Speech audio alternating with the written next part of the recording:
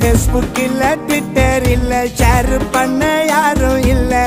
ஆனாலும் இந்த லைஃப லைக் பண்ணடா. சன்னு வரும் மூணு வரும் நைட்டில் தான் ஸ்டார் வரும். மல்லாக்கா படுத்து பா